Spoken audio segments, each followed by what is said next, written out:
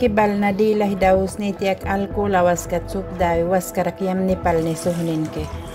Mamikpa nang takdawak matik pasyaku basukni nawaske. Muhima apat mawakat uhdana yamah dawe muhima dutni mawakat sirih ni palni panabasuniak yawa.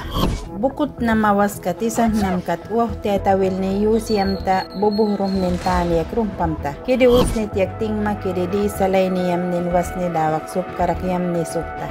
Muhuk kaulani na waskat. Yamah uhudana dawak isang wakat muhini kidi yahini tiyak kiw ni nawaske. Trey taluan mita pit ni awaskat. Trey pit pit ni naikawat ninke. Este es un mensaje de la Universidad de las Regiones Autónomas de la Costa Caribe Nicaragüense, Huracán, y de su Instituto de Comunicación Intercultural, ICI, y la divulgación.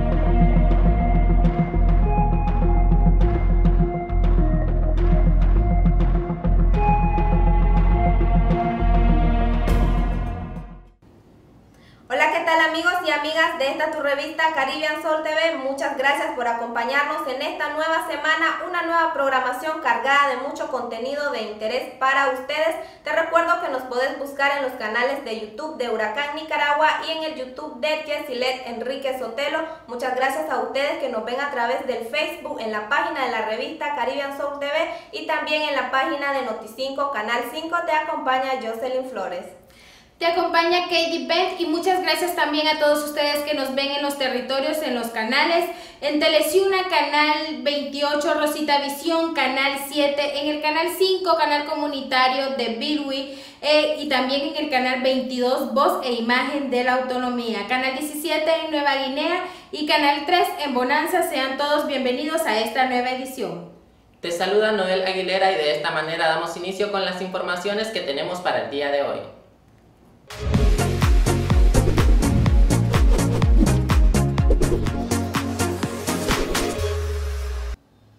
Bienvenidos a este tu segmento Huracán al Día. La rectora de esta Casa de Estudios Superiores Interculturales, doctora Alta Hooker, visitó las cuatro extensiones de la universidad para dar acompañamiento e informar sobre la visita del Consejo Nacional de Acreditación y Evaluación, de igual manera contextualizar sobre el COVID-19. La comunicadora Neilin Calderón, divulgadora del recinto Bilwi, nos informa. Veamos.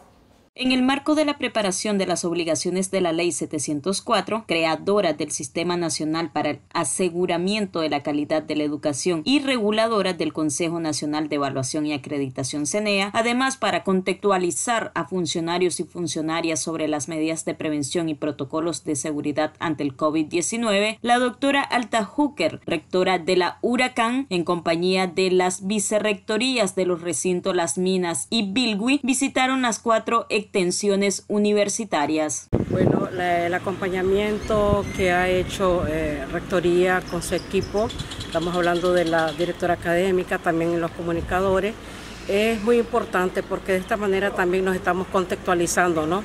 En las extensiones, eh, como recinto en las minas, que somos el recinto más grande y que somos cuatro extensiones, que tenemos tres extensiones más y una, significa que es una población grande que también eh, hemos hecho el esfuerzo por estar comunicando sobre la pandemia, pero también las obligaciones de ley también que tenemos que cumplir. Sin embargo, esto ha venido a fortalecer más ¿no? Eh, esta comunicación. Eh, la gente se siente, nuestros trabajadores se sienten contentos y contentas en tener eh, la visita de la rectora, ¿verdad? Eh, como te digo, esto nos fortalece más bien el quehacer diario del Eh, instituto. considero eh, fundamental como familia Huracán, nuestra rectora y la, junto con la vicerrectoría, ellos siempre hacen visitas, pero en, otros contenidos.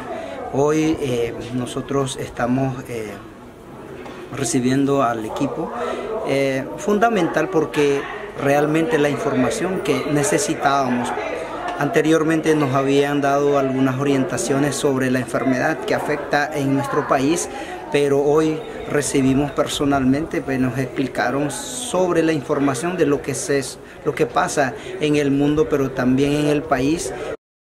De suma importancia para nosotros como universidad la visita de, las autoridades, porque de esta manera nos, permite ¿verdad? conocer a, fondo y tener este un una visión más amplia del contexto en el que estamos nosotros actualmente.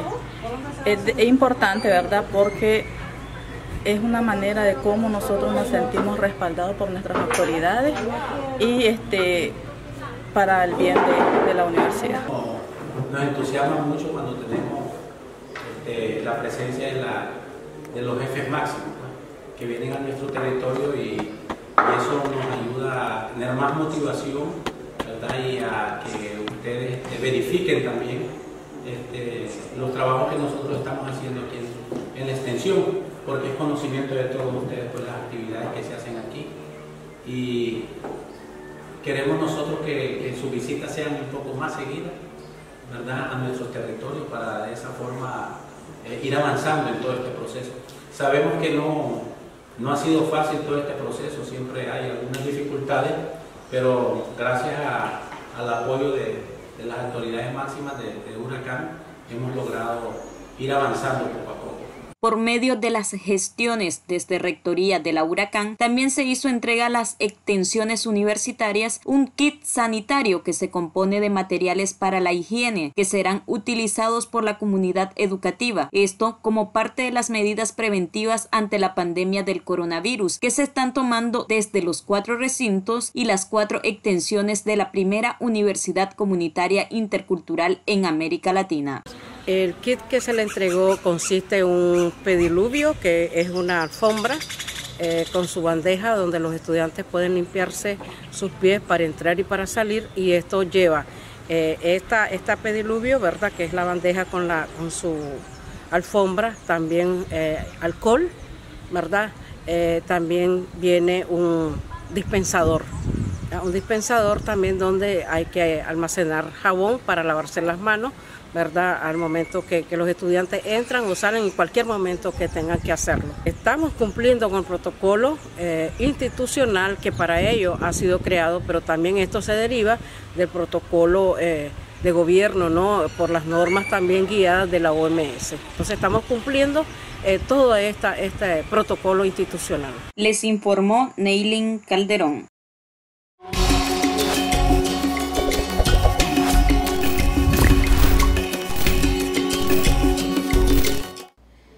Bienvenidos a tu segmento de Esencia Comunitaria. La alcaldía de Bluefields realizó conferencia de prensa para dar a conocer el Plan Invierno 2020. Veamos.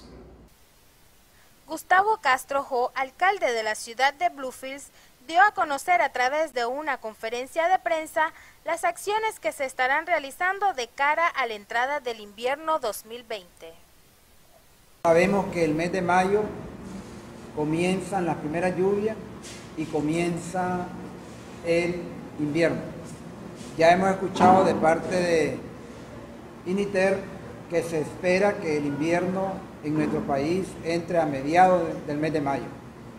Y nosotros queremos anunciar a la población de que aquí en nuestro municipio las instituciones que somos parte de la sociedad civil o instituciones del sector público que formamos el Comupred, tenemos lo que denominamos el plan invierno. El plan invierno es en donde las instituciones como el ejército, la Fuerza Naval, el Ministerio de Educación, el Ministerio de Salud, los bomberos, la policía, el MTI, la alcaldía, y todas las otras instituciones que forman parte de la vida activa en nuestra sociedad, juntamos fortaleza para estar preparados para atender las diferentes situaciones que se generan ante las lluvias. Se espera un invierno, dice Eneter, normal. O sea que van a haber lluvias intensas, lluvias fuertes, van a haber amenazas de huracanes, van a haber algunas situaciones pues que van a requerir de que atendamos a la población. Y nosotros sabemos que en nuestra ciudad de Bluefields y en las comunidades rurales hay varios sitios que son críticos. Solo en la ciudad de Bluefields, el año pasado, en los momentos de lluvia intensa, tuvimos aproximadamente 850 viviendas que tuvieron problemas de inundación, o sea que el agua penetraba dentro de sus casas. Esperamos que este año sean mucho menos, pero siempre vamos a tener esa situación. Y también tenemos en comunidades rurales donde sucede que hay áreas que se inundan. De tal manera que tenemos que estar preparados para atender esas situaciones. Ya hemos venido trabajando como Comupred en preparar algunas condiciones en la ciudad. Por ejemplo, hemos tenido durante mes y medio brigadas de trabajadores de la alcaldía y de los gabinetes de los barrios eh, limpiando los cauces de la ciudad. A estas alturas hemos recaudado más o menos 500 metros cúbicos de, eh, de basura de los diferentes cauces. Pero aún seguimos y todo el mes de mayo vamos a seguir haciendo la limpieza en, en los cauces de la ciudad. Y que esperamos con eso pues que haya que la agua pueda fluir más rápido y que haya menos efectos de las inundaciones en la ciudad. Para la revista Caribbean Soul les informó Katie Bent.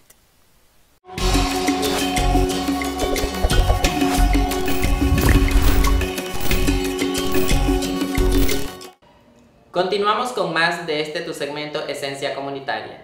En el marco del proyecto Casas para el Pueblo ejecutado por el Gobierno Nacional, Alcaldía de Bluefield realiza entrega de 10 juegos de llaves de estas viviendas y una inauguración de ellas. Veamos. 10 familias de la ciudad de Bluefield cuentan con un techo digno gracias al proyecto Casas para el Pueblo impulsado por el Gobierno Nacional. Bueno, este proyecto es el que anualmente la alcaldía ha venido desarrollando y son las viviendas de interés social dirigido a familias que no tienen la capacidad económica de poder adquirir una casa por sus propios fondos. Entonces eh, la familia mete una solicitud a la alcaldía, tiene que tener un terreno propio, en principio un núcleo familiar, después una comisión visita a la familia a ver si realmente lo que, lo que destacaron en la carta es cierto una vez que hacemos la, hacemos junto con el INBUR la visita, una vez que se constata, se clasifican a las personas y eh, se les llama, ¿verdad? Una vez que se les llama, tienen que poner de mil dólares, que es lo que tienen que pagar. Las casas están valoradas en 7 mil dólares, pero de 7 mil dólares, 6 mil dólares lo pone la alcaldía y el INBUR. los protagonistas solamente ponen mil dólares, porque por eso se llama proyecto de vivienda de interés social. Entonces el día de hoy estamos entregando 10 viviendas más. En este año, solo en este año hemos entregado 30 viviendas en lo que va del año, ¿verdad? Y esta es la, la vivienda número 30 que entregamos, por lo tanto pues nos llena de satisfacción, puede ser portador de esta alegría de la familia que hoy recibió la llave. En esta ocasión se inauguró una de las viviendas, de igual manera el alcalde y concejales de esta ciudad hicieron entrega de llaves a los beneficiados. Cuando yo veo que le entregamos la llave a un núcleo familiar que son jóvenes, que están formando su familia, yo me siento feliz y nosotros los concejales nos sentimos felices porque estamos aportando un importante grano de arena a la formación de ese hogar, pero que ha pasado todo el tiempo alquilando o viviendo en una casa prestada o viviendo con familiares y que por fin puede acceder a tener una vivienda, también nos sentimos satisfechos. Porque en esos momentos cuando nosotros decimos ese sueño que tiene el gobierno de Nicaragua de querer garantizar ese apoyo directamente a la familia, se está cumpliendo. Y con estas 10 viviendas que estamos entregando el día de hoy, se está sumando a las más de 200 viviendas que hemos construido en nuestro municipio. Cuando el gobierno desarrolla estos programas de vivienda, como estos, para que la gente tenga la posibilidad de acceder a un programa y poder tener su casa propia. Y por eso decimos que nuestro gobierno está creando programas especiales para la gente de mayor limitaciones económicas, porque este gobierno es precisamente para esas personas. Y desarrollamos estos programas para ellos. Well, good evening, each and everyone. Um, we are here today to receive our key for our house. Um, complete and we are here to receive our home. For, it's a dream for every family to receive their home and well, be happy in their home. And also giving thanks to the Almighty because without Him we could not reach here far at this. So we, receive our home and well, thanks to the government also for putting through most of all, all of us dreams as family to have a home for ourselves. Para la revista Caribbean Sol, Noel Aguilera.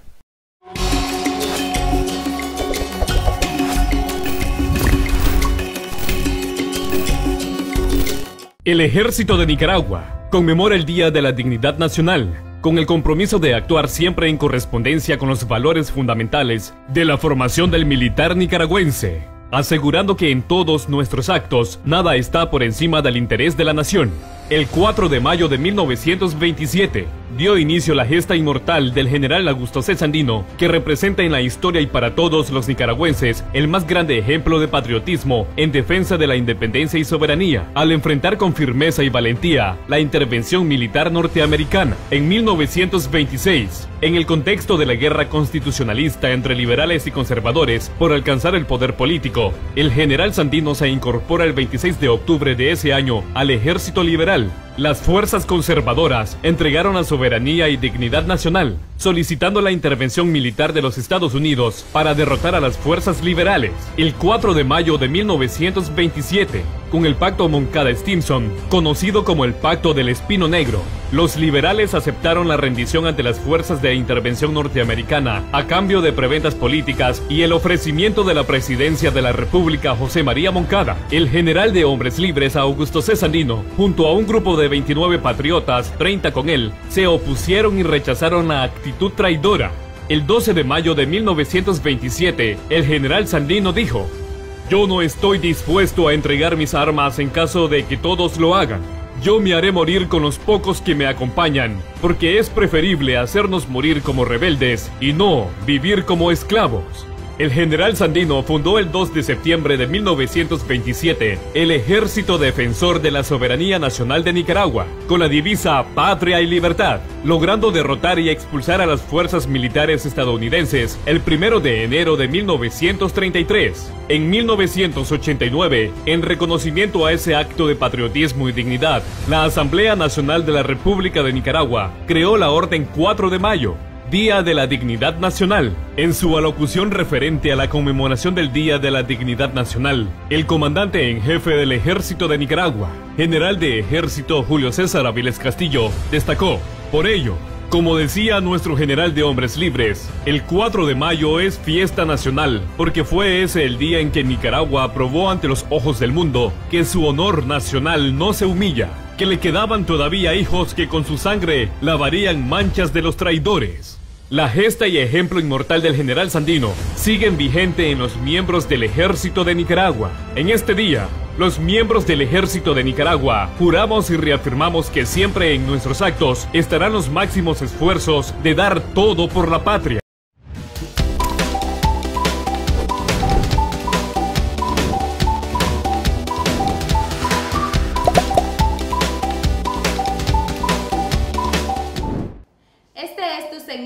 Plantando Huellas.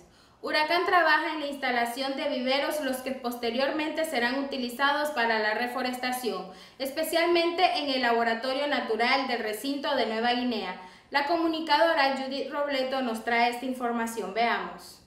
Estudiantado de Huracán Recinto Nueva Guinea, apropiados de la misión de esta casa de estudios, se ha dispuesto a la elaboración de un vivero con más de 7.000 plantas para el posterior establecimiento de un arboreto en el laboratorio natural de este recinto. Hoy nos encontramos el grupo de primer año de administración. Hemos venido a llenar bolsas para reforestar eh, la finca de Huracán y hemos venido para llenar bolsas, para ayudar a hacer un vivero.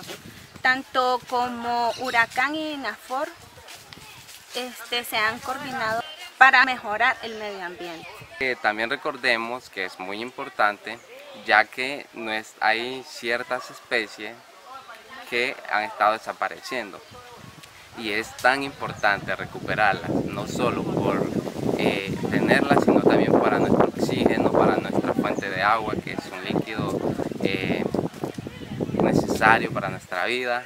Y la verdad que se necesita reforestar tanto ya sea el laboratorio natural de la Universidad Huracán como las fincas de, los, de las otras personas y fuente de, de agua. El establecimiento de este vivero es una de las acciones concretas que se hacen de cara al cumplimiento del convenio recientemente firmado con INAFOR. En esta ocasión hay un grupo de estudiantes que están eh, trabajando en el llenado de bolsas para el establecimiento del vivero de aproximadamente unas 700 variedades de plantas que vamos a reforestar en todo lo que es el área de nuestro laboratorio natural y además fortalecer eh, otros espacios que eh, se han venido eh, dando el proceso natural de utilización de la parte forestal es la hacer efectivo la, firma del convenio y en la cual participan activamente nuestros estudiantes y profesores. Estamos haciendo un vivero forestal con las diferentes especies que se han ido extinguiendo dentro de la, de la región y son con el propósito de establecer un, este, un arboreto en la entrada de la, de la, de la finca de, Huracán, que es el laboratorio natural, queremos establecer un, arboreto donde está cerca de la entrada también donde está el, sendero del lugar turístico. ¿eh? que también están, va, a estar, va a ser un lugar bastante atractivo, donde se establecerán diferentes tipos de variedades de, especies, como de cedro real, caoba, eh, cedro macho, todas esas especies que se han ido extinguiendo, palo de piedra, entonces son diferentes especies que se han ido extinguiendo en la zona y queremos recuperarla y establecer un, un arboreto para que sirva como también para producción de semillas. El arboreto no solo permitirá el establecimiento de distintas especies maderables en el laboratorio natural, pues además darán belleza y proporcionarán oxígeno, lo que permite abonar a un espacio armónico con la madre tierra.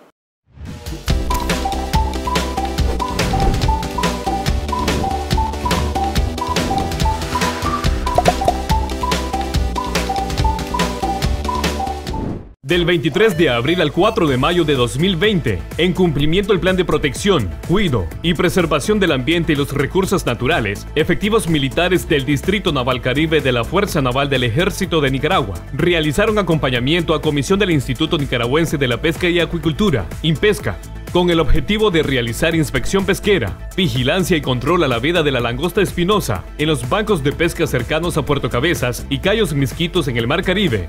Durante el acompañamiento se retuvieron tres embarcaciones, las cuales no portaban los permisos para realizar la faena de pesca. Se inspeccionaron 127 nazas, se liberaron 49 tortugas verdes, una tortuga carey y 215 langostas. La Fuerza Naval del Ejército de Nicaragua tiene entre sus deberes velar por la protección y preservación de los recursos naturales, por lo que se les hace un llamado a las personas vinculadas al aprovechamiento de los recursos marítimos a respetar las regulaciones y periodos establecidos durante las vedas. El Distrito Naval Caribe de la Fuerza Naval del Ejército de Nicaragua cumple sus misiones y tareas.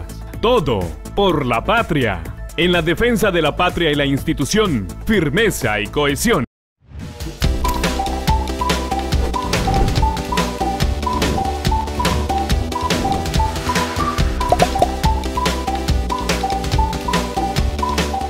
Del 26 de abril al 2 de mayo de 2020, en el marco de las tareas de preservación, cuido, protección del ambiente y los recursos naturales, efectivos militares del Distrito Naval Caribe de la Fuerza Naval del Ejército de Nicaragua realizaron acompañamiento a la Comisión Interinstitucional del Patrimonio Natural y Biodiversidad del Gobierno Regional de la Costa Caribe Sur, con el objetivo de evaluar los daños al ambiente ocasionado por el despale y los incendios provocados por personas inescrupulosas que ingresan ilegalmente a la Reserva Biológica Indio Maíz. El Distrito Naval Caribe de la Fuerza Naval del Ejército Ejército de Nicaragua cumple sus misiones y tareas. Todo por la patria. En la defensa de la patria y la institución, firmeza y cohesión.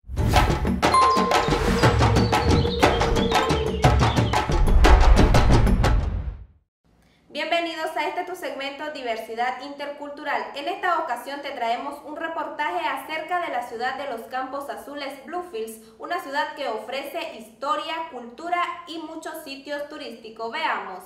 Historia, tradición y cultura es lo que representa la ciudad de los Campos Azules, donde la calidez y sabor costeño de su gente hacen de esta ciudad un lugar digno de visitar. Y hablemos de Bluefields como un destino.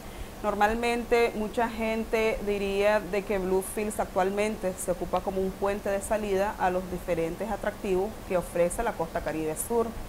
Pero para hacer turismo en Bluefields no es necesariamente salir fuera, salir fuera porque sabemos de que Bluefields es más allá. Bluefields hablamos de historia, hablamos sobre cultura y Bluefields tiene mucho que ofrecer.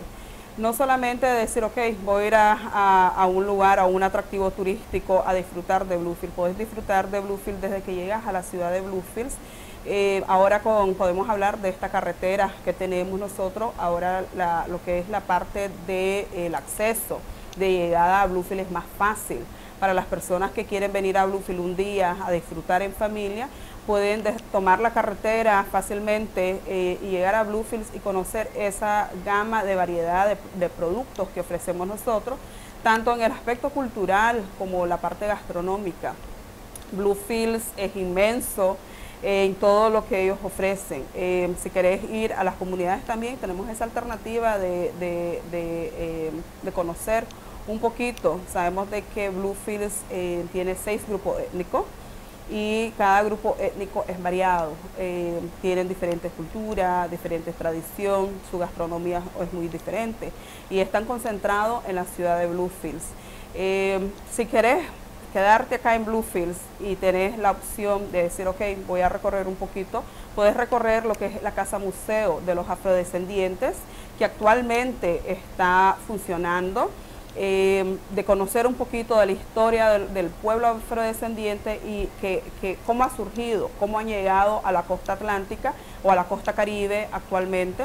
Eh, tenemos también eh, el Museo de Vicu que ofrece todo lo que es la historia de la costa caribe, no solamente de la costa caribe sur, sino de que la costa caribe norte y sur.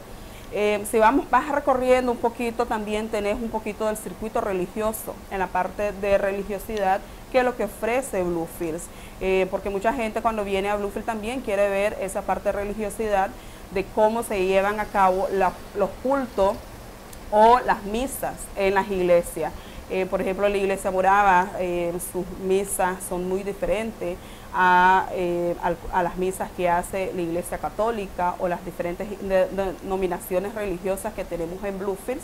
Pero también, terminando un poquito ese circuito religioso, podemos ir un poquito al Parque Reyes, el Parque Reyes eh, lo vemos así de simple vista, pero tiene mucha, mucha información, tiene mucha historia, eh, tiene demasiados legados también que la población no conoce actualmente, de conocer los héroes y mártires que hay dentro de los monumentos que hay dentro de, eh, del Parque Reyes, te da un poquito de esa información de los árboles antiguos que tenemos actualmente, de los años que hay. Entonces podemos enriquecernos también con esa información que tenemos y hasta el mismo Palacio Municipal que actualmente es la alcaldía, eh, donde está funcionando la alcaldía también, tiene mucha historia. Y si querés disfrutar un poquito, de salir un poquito de la religiosidad, la parte cultural, la parte histórica, también ofrecemos el Puerto del Bluff que tiene la playa, eh, si querés tomar un poquito de sol, de querer recorrer un poquito la playa, también tenés esa opción. Y hay una oferta también eh, instalada en el Puerto del Bluff que es permanente todo el año que están ahí ellos ofreciendo gastronomía igual. Y si querés conocer un poquito más lo que son los grupos étnicos, tenemos eh, la comunidad indígena el Rama. No es solamente en Ramaquí, sino de que a orilla del río puedes encontrar las diferentes comunidades Rama que ofrecen también un poquito de historia, un poquito de arqueología, un poquito del trabajo que ellos hacen dentro de su comunidad eh, tanto en agricultura como ganadería y la misma artesanía que ellos están ofreciendo. Entonces, Bluefields no es solamente llegar a la ciudad de Bluefields, eh, puedes recorrer más y conocer más lo que ofrecemos nosotros los caribeños y especialmente la ciudad de Bluefields para poder desarrollar turísticamente. Para la revista Caribbean Soul TV, Jocelyn Flores. De esta manera hemos llegado a la parte final de tu revista Caribbean Sol TV, esperando que la información aquí brindada haya sido de su completo agrado. Gracias a todos ustedes que nos acompañaron desde los territorios. Te acompañó Katie Bent. También te acompañó Jocelyn Flores. Muchas gracias a ustedes que cada semana están pendientes a través del Facebook y el YouTube. Te esperamos la próxima edición. Esto es todo por hoy. Nos vemos en la próxima edición. Estuvo con ustedes Noel Aguilera.